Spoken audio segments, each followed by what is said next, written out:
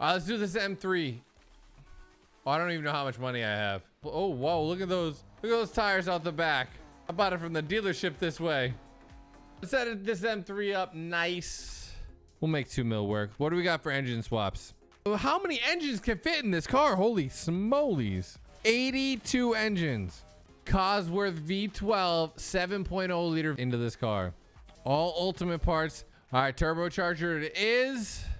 Nitrous, the best we can do is elite. Three tanks. All right, we got to fix these tires real quick. Why are they so...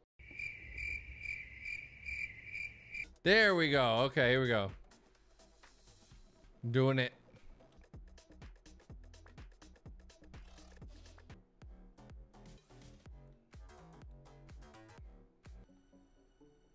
No mirrors. Do we do no hood too?